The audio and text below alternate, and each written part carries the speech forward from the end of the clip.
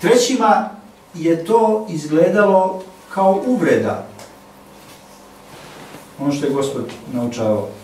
Četvrtima je izgledalo da Mesija jednostavno ne može ovako naučavati. Kakav je to Mesija? Oni očekuju Mesiju koji je moćna ličnost, koji kada dođe ima da oslobodi svoj narod, ima da e, uništi sve okolne narode i jednostavno i nikom mu neće moći stati na put. A on govori o nekakvom okretanju drugog obraza. Kakav je to Mesija? I jednostavno kažem, e, trebalo je hrabrosti, a i mudrosti da bi se ovako poučavalo u ono vreme, a i danas.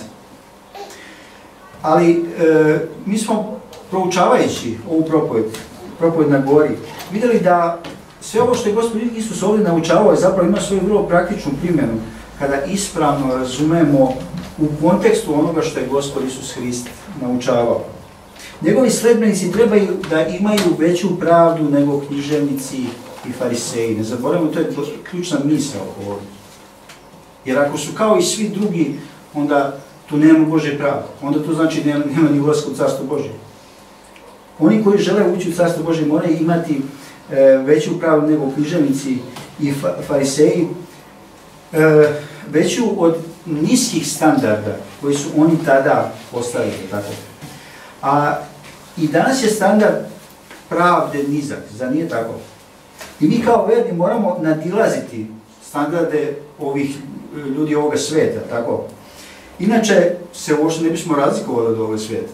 Jer se slažete sa mnom, braći se? I danas želim da razmotim poslednje e, šesto po redu, pogrešno učenje koje Gospod Isus Hrist razotkriva i naravno On postavlja svoje pravo učenje. U 43. stihu nam kaže ovdje, čuli ste da je kazano, ljubi bližnjeg svojega, a mrzi na neprijatelja svojega. Odmah nam se namiće pitanje, A ko je bližnji, a ko je neprijatelj uopšte? Kako, će, mislim, kako ćemo to da, da odredimo, tako? Kada su rabini ovo naučavali, oni su e, pod bližnjim podrazumevali pre svega svoje sunarodnike, jel? U njihovom kontekstu jevreje, i one koji im čine dobro. A neprijatelj su podrazumevali sve ostale narode, a pogotovo one sa kojima su trenutno bili u konfliktu. U ovom momentu to bi recimo bili Rimljani. Rimljan ne može nikako da se smatra nekakvim bližnjim što se njih tiče. E, njihov problem je što su oni pogrešno shvatili da je Bog njih izabrao za posebnu svrhu, odnosno nisu shvatili pravu svrhu zašto je Bog njih izabrao. A to je da kroz njihov narod dođe Hristos. Ali oni su tu Božju svrhu izokrenuli. Oni su shvatili to što je Bog izabrao njihov narod i zato što su njihovi oci bili verni, E, da je to njihova automatska pravilnost i, i da to znači Božju naklonost, pa čak i ako oni greše, čak i ako oni ne mare uopšte e, za Božju volju.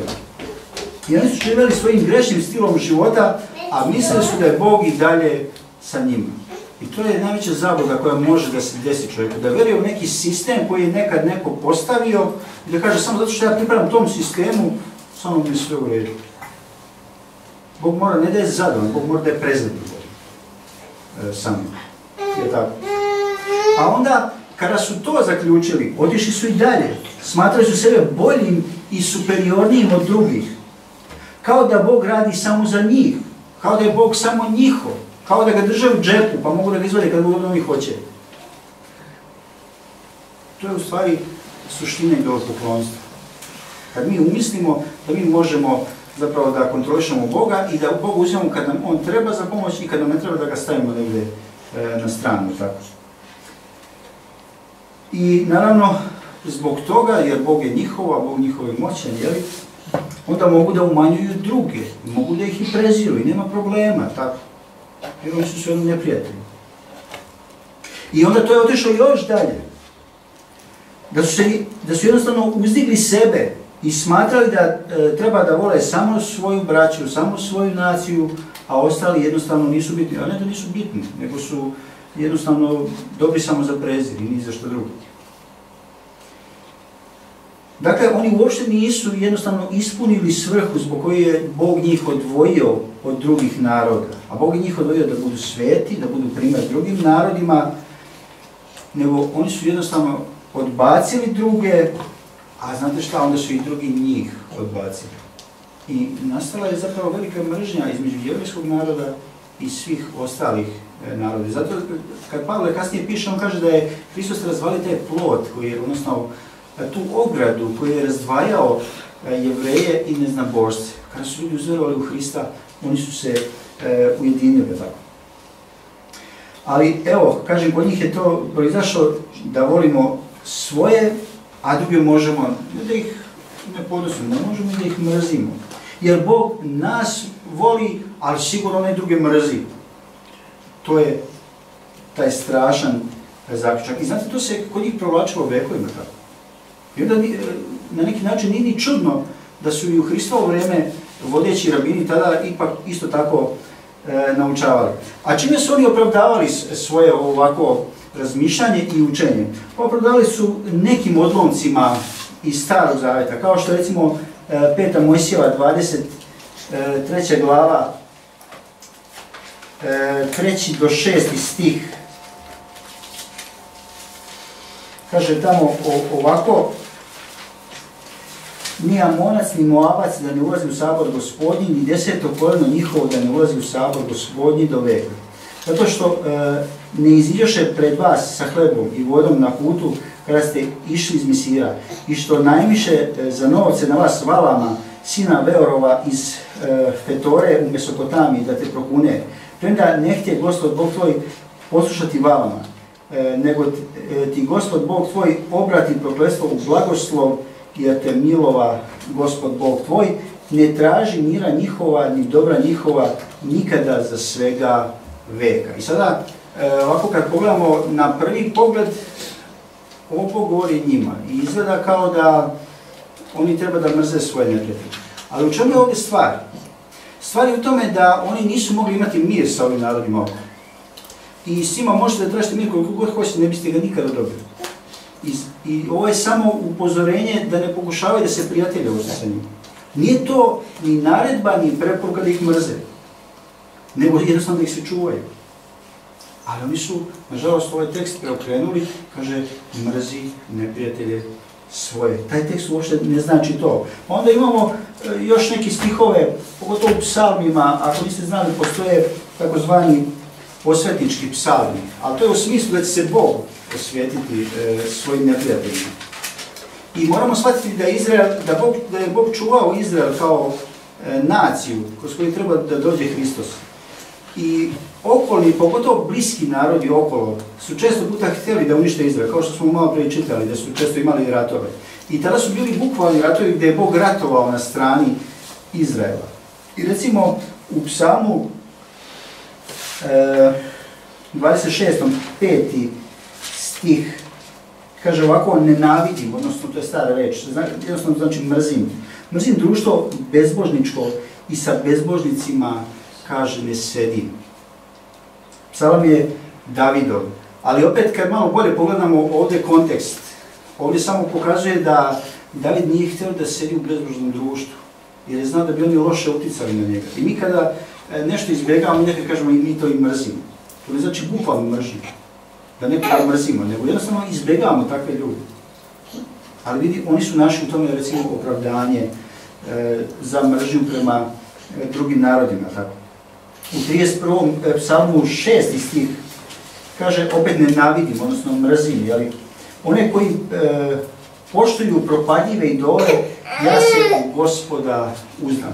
On ovdje, e, David ovdje jednostavno pokazuje da njemu nije svejedno kad neko obožava lažne bogove, a pravo Boga jednostavno ne poštuje ga i stavlja ga po strani. David ne želi da se to njemu desi. Ne želi da bude u društvu takih ljudi. I jednostavno isto ih e, izbjegava. A onda možda, e, da kažemo, najupečatljiviji e, tekst koji su oni sigurno ovaj, koristili jeste psalam 139. I čitat ćemo od 19. do 24. stiha, kaže da hoćeš Bože ubiti bezbožnika, krvopije, idite od mene. Oni govore ružno na tebe, uzimaju ime tvoje uzavod, neprijatelji tvoji. Zar da ne mrzim na one koji na te mrze gospode i da se ne gadim na one koji ustaju na tebe. Puno mrzošću mrzim na njih neprijatelji su. Okušaj me Bože i poznaj srce moje, ispitaj me i poznaj pomisli moje i vidi jesam li na zlu putu i vodi me na put večni. Opet da nemamo kontekst, e, mi bismo mogli zaključiti pa da, evo, David mrzi e, svoje neprijatelje, David mrzi one koji ne poštuju Boga i ne, znam šta, ali gledajte šta on kaže, okušaj me Bože i poznaj srce moje, ispitaj i poznaj pomisli moje i vidi jesam li na zlu putu i vodi me na put večni. On se ovdje ispituje kako je njegovo stanje pred Bogom. Ako bi voleo ono što vole oni koji zločine, oni koji mrze Boga, oni koji preziru Boga, oni koji psuju Boga, oni koji bi ratovali protiv Boga, to bi značilo da on nije na pravom putu. I zato on kaže, on ne, ne može podnositi e, tako društvo. Ne bi, ne bi hteo biti. E, ovo nije nikako ni, ni bukvalna direktna mržnja prema kome, niti je ovo poziv na mržnju. Nego ovo je samo izričaj njegovog srca. On voli Boga. I zato ga vređa ako neko e, vređa Boga. I mi kada nekoga volimo, mi ne želimo da čujemo loše, da neko nešto loše govori. Mi imamo tu, da kažemo, e, ljubomoru, ispravnu ljubomoru. Ljubomora naravno možda bude i, i neispravna.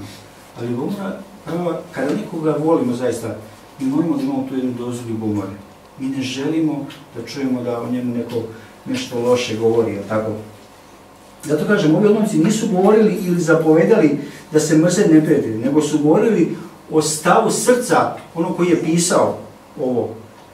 Da su na strani Boga i da nisu ravnodušni kad njihovi neprijatelji govore i rade protiv Boga. Jer pazite, mi, mi znamo Davida, da je David mrzeo svoje neprijatelje. Pa šta mislite, za ne bi on ubio e, cara Saula, kad ima dva puta šansu da ga ubije? Progonio ga bez ikakvog razloga. I pazite, on nije, nije planirao da je šamara Davida kad ga ogodi. Pa će proći šamari, pa niko ništa. On je dva puta bacao koplje na njega. E, jurio ga je vojskom. I David dva puta ima šansu, to znamo, znamo to je stavio, zato čitao sam. Dva puta ima šansu kao na dlanu da ga ubije.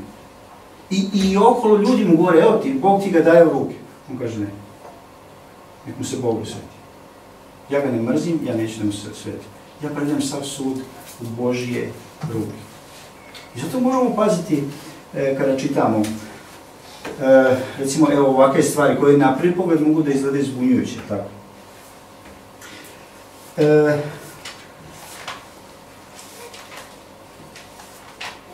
Tako da mi vidimo, jeli, i u starom zavetu vernici su znali da je gospodu ugodno da oni vole sve ljude. I u starom zavetu je pisano da će doći e, milost i blagodat Bože na sve e, narode. E, u trećoj knjizi Mojsijevoj, 19. glava, 18. stih, Bog daje ne jednu preporuku, nego jednu, možemo reći, zapovest. Kaže, ne budi osvetljiv i ne nosi srđe na sinove naroda svojega, nego ljubi bližnjeg svojega kao sebe samoga, ja sam gospod. I ovo je vrlo zanimljivo kada ne raste na ovakve stihove koji završavaju sa ja sam gospod. Znači da Bog vrlo pažljivo gleda.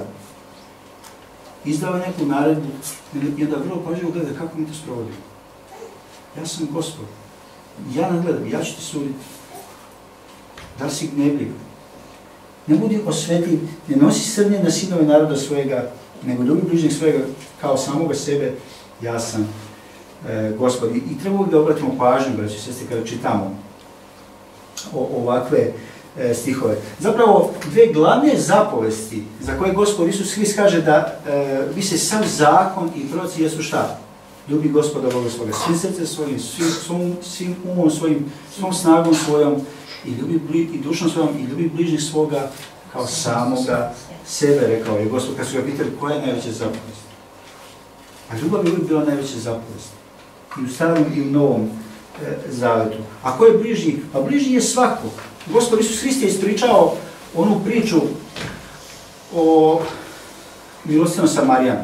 Da ljudi misle da se tu radi eto kako treba pomoći ugroženima i tako. Ali on, tu, on je tu priču ispričao da pokaže fariseju koji ga je pitao pitanje, a ko je moj bližnji?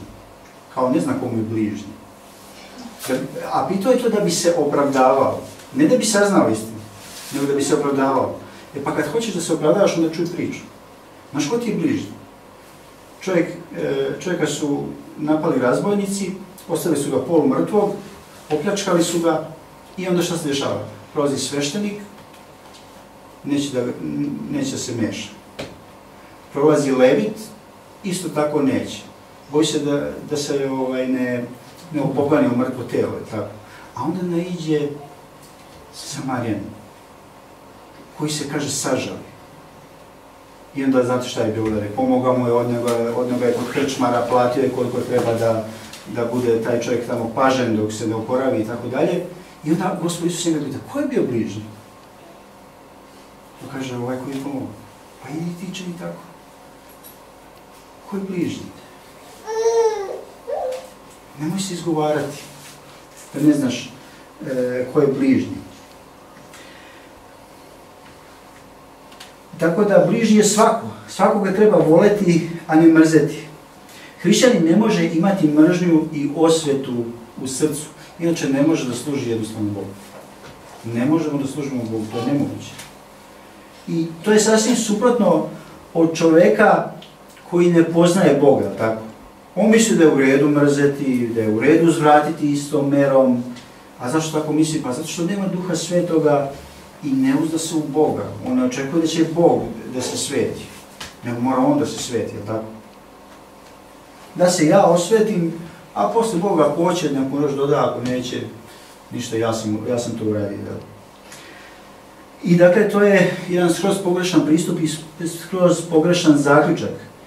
I svih njih u ono vreme, tako, nigde u pismu nećete naći e, da mrzimo neprijatelje svoje. Ni u starom, ni u novom zavetu. Ne postoji tako nešto. Postoji e, samo pogrešno izvučeni zaključci. I to je moguće jedino ako prilagođavamo sve to pismo svom grešnom umu, koji nije prosvetljeno od Boga, nego zaključuje svojom ljudskom logikom. Samo tako ovaj, je moguće doći do, takvog zaključka. Tako. A ovi ljudi očigledno nisu bili, oni su bili kao Nikodim koji je došao kod gospoda i došao da se raspravlja sa gospodom. I onda mu gospod kaže, pa ti treba se nama rodiš. On to nije, nije znao, to je osnovna stvar. Pa što ti učiš ljude ako ne znaš ni osnovnu stvar? Možeš se roditi, možeš biti pre svega spašan da bi uopšte mogao bilo šta da govoriš e, u ime gospoda. A zapravo, Bog ne da nas poziva, ne da Bože da mrzimo svoje neprijatelje, nego On nas poziva na mnogo više da činimo. I daje nam snagu za to, da možemo da živimo onako kako On to očekuje. A kako očekuje Gospod da mi, da mi živimo? Evo slušajte šta kaže ovdje on u 44. stihu, a ja vam kažem, ljubite neprijatelje svoje, blagosljujte one koji vas kunu, činite dobro onima koji na vas mrze i molite se Bogu za one koji vas gone, tako.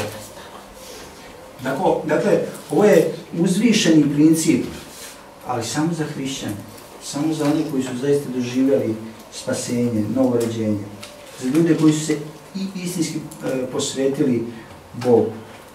Postavlja se pitanje koliko Bog voli svet? One koji se direktno protive njemu i one koji njega mrze. Koliko je Bog strpljiv svaki dan i prašta i odlaže svoj gnev? To, to su pitanja, tako? Neki misle da nije moguće živjeti ovako kako Gospod Isus Hrista ovdje kaže. Da ljubimo neprijatelje svoje, da blagosljujemo one koji nas kunu, da činimo dobro onima koji nas mrze i da se molimo Bogu za one koji nas gode. Ali gledajte, braći i sestri, evo već 2000 godina hrišćanstva imamo ljude i žene koji su dokazali da je to moguće. I dan danas imamo ljude koji to dokazuju. I čak naravno i pre toga, u starom zavjetu isto tako imamo ljude koji su od uvek voleli druge ljude, koji su praštali, koji su jednostavno nadglađivali ljubav. Biblija kaže da se ne damo zlu nadvladati, nego da zlo nadvladamo dobrim. U Rimljanima 12. glava e, prvi stih. Zlo ne može da se pobedi zlom. E, ne može da se pobedi uzvraćanjem milo za drago, tako. Zlo se jedino pobeđuje ljubav. Isto tako kao što se vatra ne gasi drugom vatrom, nego se gasi vodom, tako. Tako i zlo, ne može, ne može zlo da se pobedi ako se uzvraća na zlo. E, ovako, kako gospod kaže ovde, e, dakle mi mislimo dobro svima, mi njih volimo. I mi ovo činimo namerno, jer ljubav nije samo neko lepo osjećanje, nego naša volja, naša namera da nešto učinimo. Ljubav je odluka.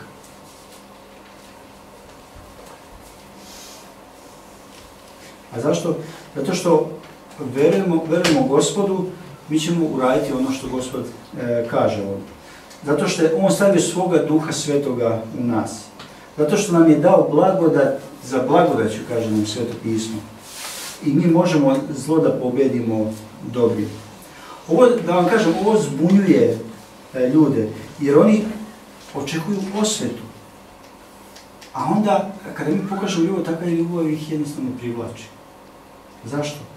Svako voli taj osjećaj da ima pored sebe osobu koja mu neće naneti zlo.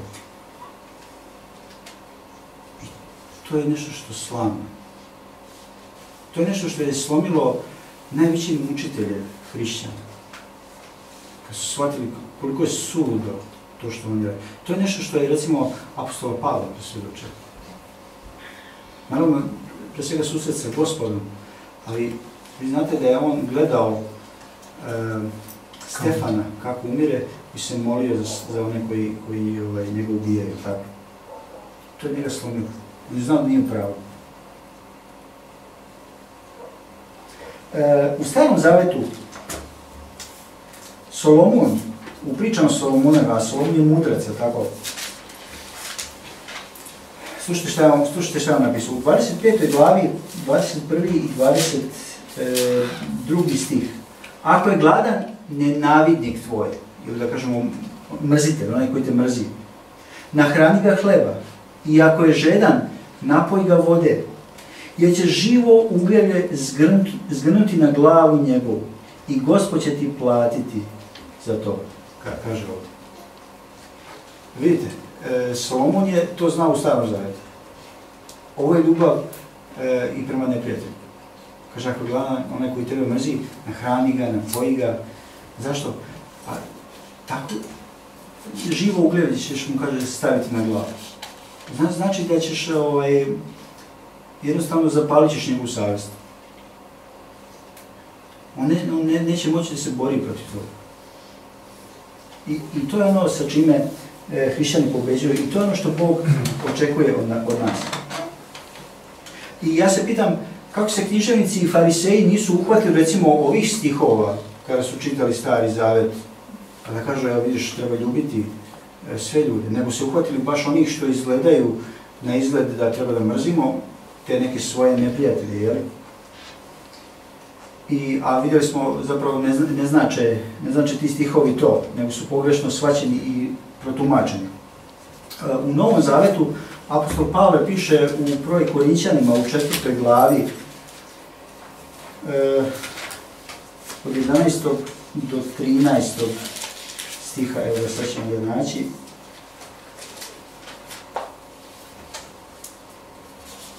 Kaže, do ovoga časa i gladujemo, i trpimo žeđu, i golotinju, i muke, i potucamo se, i trudimo se radeći svojim rukama. Sad Pavle ovdje opisuje kakav je bio njegov život kao apostol.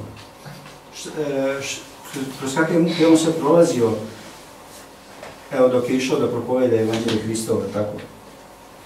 Kaže, i trudimo se radeći svojim rukama. Kad nas psuju, i mi psujemo. Ne. Kad nas gone, i mi gonimo. Kada hule na nas, i mi, mi njih tučemo. Tako? Ne. A nije tako, da, naravno da nije tako. Kaže, kad nam psuju, blagosi. Mi vidimo, Pavle je shvatio ono što, što je ovdje naučavao. Kad nas psuju, blagosiljamo. Kad nas gone, trpimo. Kada hule na nas, molimo, tako. Postali smo kao smetište svijeta po kojemu gaze e, svi do sad i tako dalje.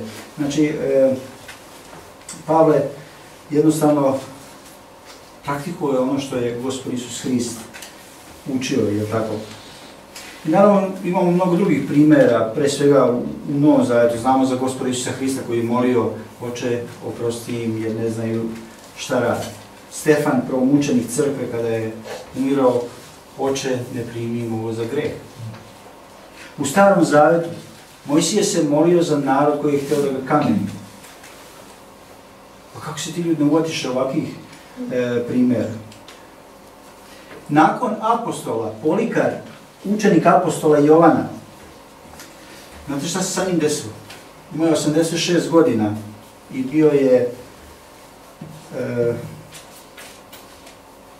u kom je on grad bio? Zaboravio sam, zaboravio sam gdje on bio, ovaj, gdje je služio. Ali uglavnom, e, nastala je pobuna i došli su da ga uhvate i da ga odvedu u arenu i da ga tamo pogube. A znate šta je Polikar poradio kada su došli? Prvo rekao je neka bude Božja volja. A onda uzeo je i nahranio je te ljude i ugostio ih. I zamolio ih je da, da mu daju dva sata da se on pomoli Bogu.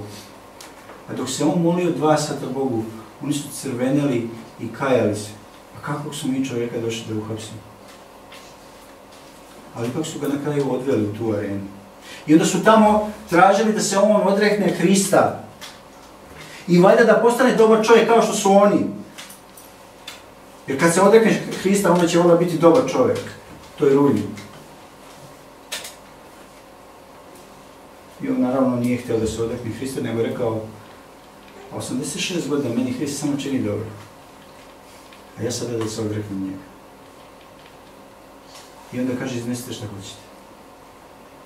I izneli su u lomaču. I tako, e, kroz sve vekove e, hrišćanstva, ljudi su stradali, ali nisu mrzeli e, svoje neprijatelje tamo 1960. godina u susjednoj Rumuniji, pastor Richard Woodbrand i njegova žena Sabina, znate šta su oni uradili? Oni su pronašli čoveka koji je sve Sabinine rođake pogurao u gasnu komoru za vreme drugog svjetskog rata. I ugostili su ga. I zadobili su ga za Hrista. Ne znam koliko je njenih rođaka taj čovjek pogurao tamo u gasni komor.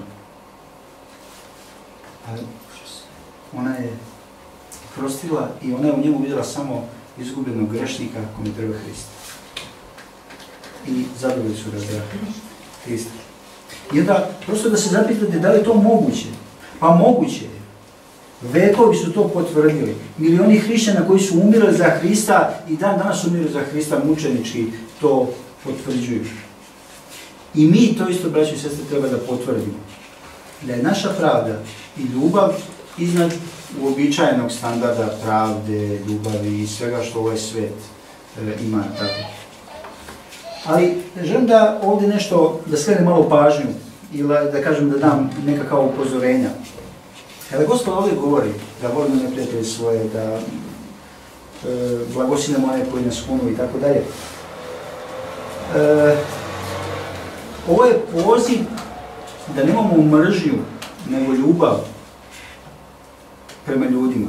A ljubav ne čini zla bližnjemu, kaže Bira, nego čini mu samo dobro. I vidjeli smo do kojih mera može da ode takva ljubav, uz pomoć blagodati Božije i uz pomoć Duha Svetoga, naravno. E, dakle, treba da se okrenu od laži, ti ljudi koji, koji ne poznaju Boga, jel? E, da je opravdano mrzeti neprijatelje. Treba to da shvati. Nije opravdano mrzeti svoje neprijatelje. Treba da se okrenu od laži ka istini. A istina je da treba da vole ljude i da budu dobronamerni ka njima. I mi ne bi sada trebali da se poisto, poistovećujemo i da se prisjećamo nečih tuđih grešaka iz prošlosti i da ih upoređujemo sada sa ovim Hristovim rečima. To nije bila namera gospoda Isusa Hrista kada je e, rekao ove reči.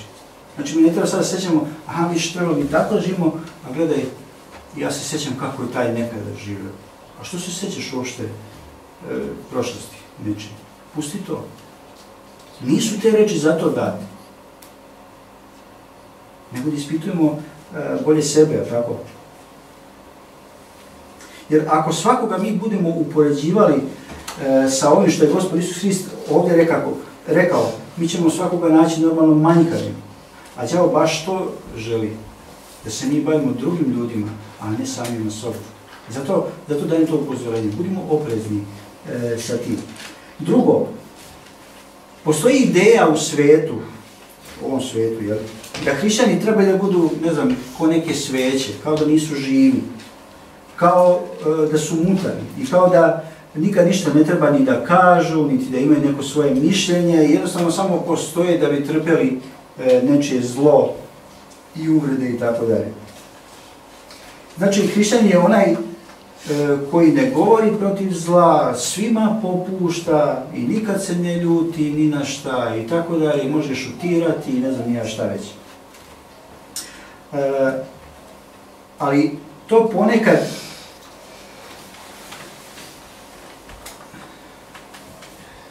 to, to ponekad pokazuje da tako prosuđivanje, kada ljudi kažu, ako čim nešto mi nešto kažemo protiv nekog zla, oni odmah to procenjuju kao da je to naše neko lažno e, hrišćanstvo, tako.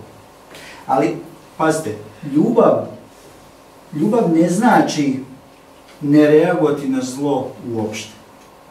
Ali kako reagovati? Postavlja se pitanje.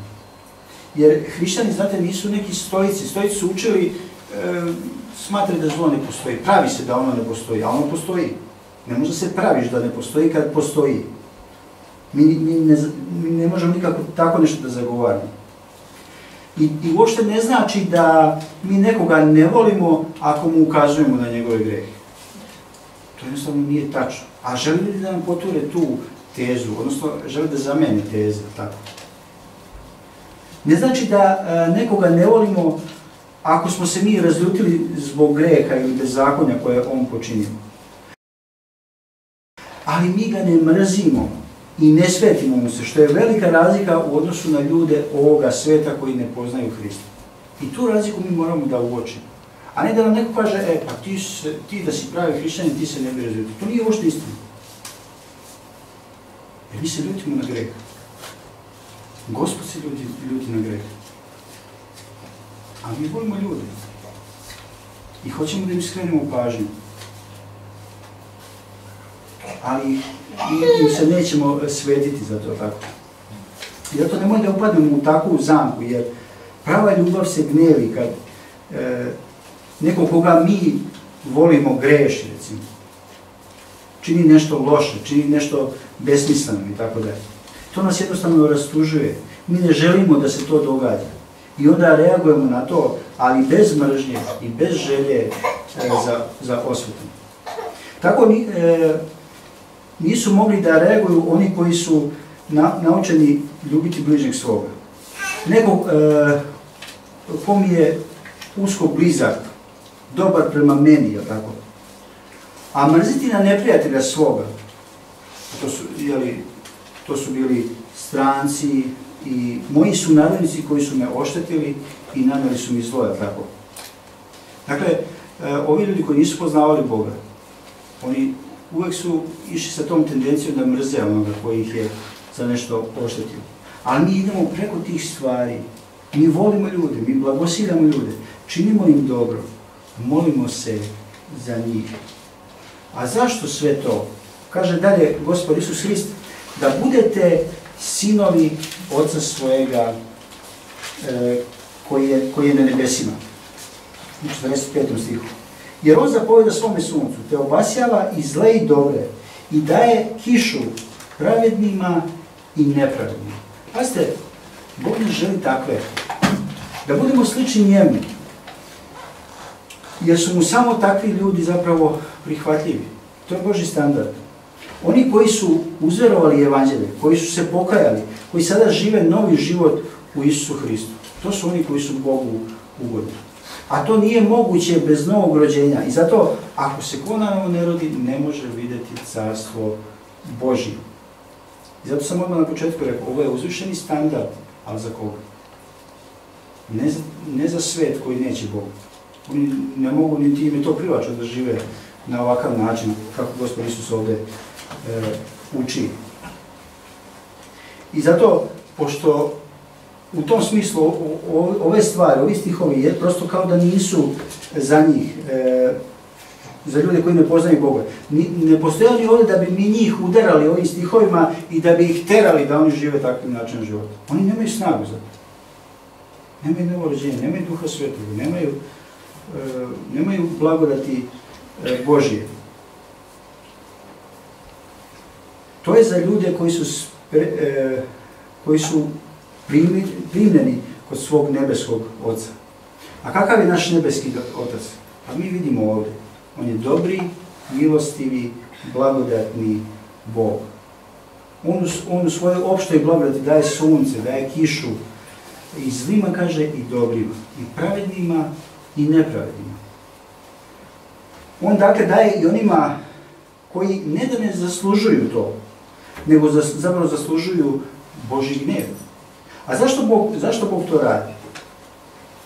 Prvo, jer On je e, u smislu stvaranja svima otac.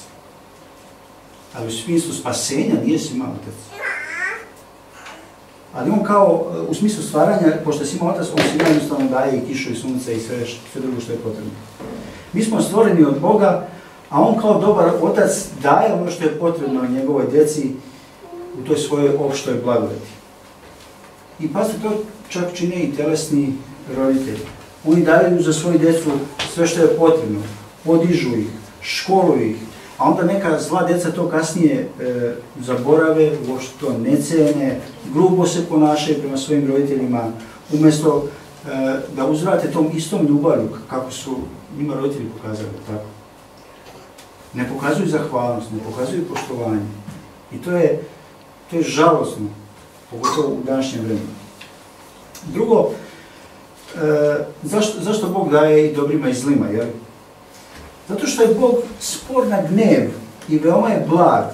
On dugo čeka, kaže Biblija. On čeka da se ljudi pokaju. Bog daje nove šanse. On odlaže svoj gnev i svoj sud. On želi da se svi ljudi spasu, kaže, i dođu u poznanje istine. Nažalost, E, mnogi ljudi provode dane svoga života ne mareći za Boga i tako sebi skupljaju gnev za dan gneva e, i suda e, Božjega. To nam piše apostol Pavle u Rimljanima tamo u drugoj glavi od četvrtog do osmog stiha čitamo kaže ili ne mariš za bogatstvo njegove dobrote i krotosti i trpljenja ne znajući da te dobrota Božja na pokajanje vodi nego svojom drvenosti i nepokajanim srcem sabiraš sebi gnev za dan gneva u koji će se pokazati pravedni sud Boga, koji će dati svakome po delima njegovim. Onima, dakle, koji su trpljenjem dela dobroga tražili slavu i čast i neraspadivost, život večni. A onima koji se usprko suprote istini, a pokoravaju se nepravdi, nemilost i gnev. I takav će jednostavno e, da bude suda. Ljudi provode svoje vreme uzavut e, na ovoj zemlji. Dakle, Bog daje milostivo svima, jer on uopšte nije u žurbi da se bilo kome osveti. Ljudi ovoga sveta jesu u žurbi, oni znaju da kratko žive, oni moraju odmah da se osveti ili će ih proći gnev i onda taj će proći nekažen, jer kome se oni nisu tog momenta e, osvetili, ali Bogu se nikad ne žuri. On može, on ima, on ima, njegovi su svi vekovi može da, da kazni.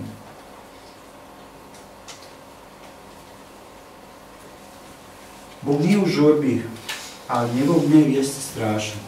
Njegov gnev, njegova kazna jeste večna. Biblija kaže, strašno je upasti u ruke Boga živog. Biblija još na mjestu kaže, jer Bog naš oganj koji spaljuje. Strašna stvar. Ali sada Bog daje vreme i sve potrebne stvari za zemaljski život. Ali to vreme čovjek bi trebalo da iskoristi, da potraži i pronađe Boga. A ne da živi za prolazne stvari ovoga sveta, da živi za mržnju, da živi za osvete i sve druge stvari koje su Bogu odvratne. Oni koji su Hristovi se izdižu iznad ovakvih stvari i takvih standarda, je tako? I pokazuju e, Boži i taj nebeski standard. Mi ljubimo neprijatelj svoje, mi blagosinamo one koji nas Činimo dobro onima koji nas mrze. Molimo se Bogu za one koji nas e, gone.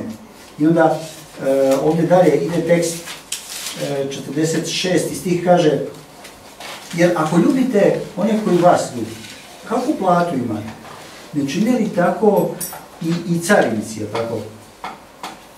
E, ovo su ti njihovi, da kažemo, zamišljeni bližnji, njihovi su narodnici i njihovi, da kažemo, dobro, oni koji su dobri prema njima. A gledajte šta im Gospod kaže, ako samo njih ljubite, ako samo njih volite, a šta vi posebno činite? Ništa. Kaže, ne činili tako i carinici. Carinici su bili oličenje grešnosti. I carinici vole one koji njima pomažu, koji su dobri prema njima i tako dalje. Šta si bolje od carinika? Nisi ništa bolje. Ponašaš se isto kao i e, najgori grešnik, odnosno, mislim, ništa nisi iznad njega, tako.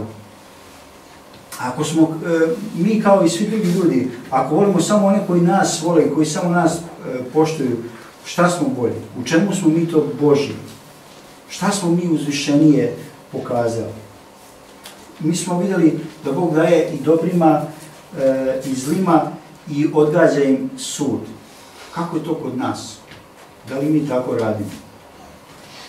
Da li i mi isto tako e, i da li mi verujemo da, da će nas Bog osvetiti? Ili ne verujemo, pa moramo mi da se osvetimo. Pa ste uvijek u pitanju vera u Boga. U svemu, u svakom događaju. A onda dalje, Gospod nastavlja svoj argument u 47. stihu.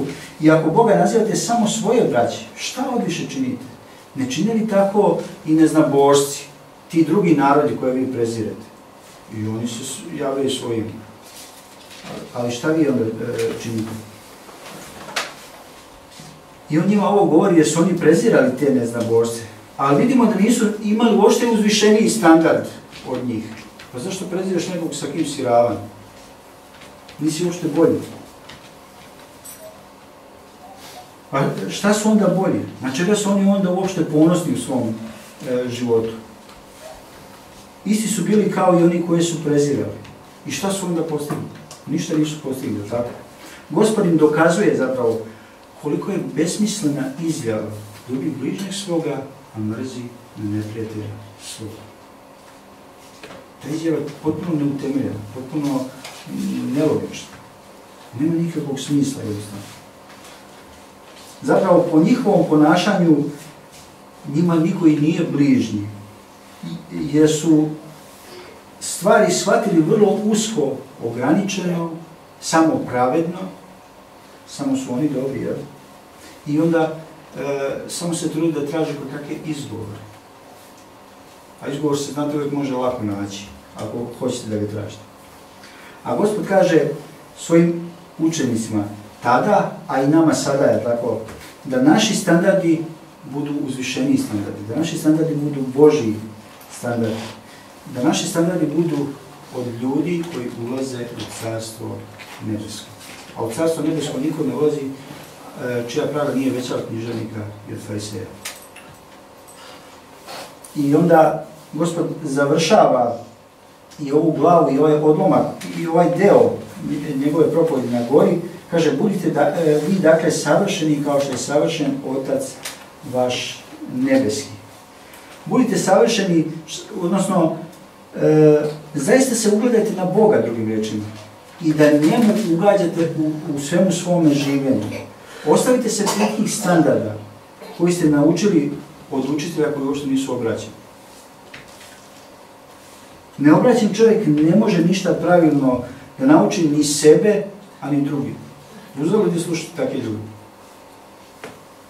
Nemoguće je govoriti istinu Božiju ako neko nije doživio novo rođenje, ako nije uzverovao u Hrista i ako mu gresi nisu oprošteni. Ko to nije doživio, on ne, on ne zna, ne poznaje Boga, ne zna uopšte šta priča.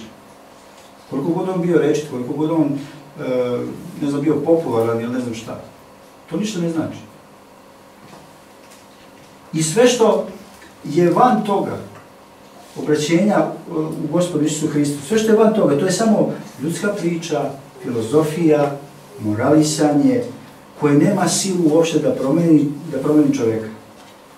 Nego težiti savršenstvu koje Gospod Isus kaže ovdje, budite savršeni kao što je savršen vaš Otac e, nebeski, može samo onaj koji je doživeo Hrista i spasenje. Onaj koji nije doživeo, za njega su ovo besmislice. Ovo što mi pričamo sada. Samo takav može da ljubi svoje neprijatelje i da nadvisi svaki ljudski standard do te mere e, da ljudima prosto zastane dah, da se pita pa to moguće. Kao što smo vidjeli malo pre iz onih e, primjera.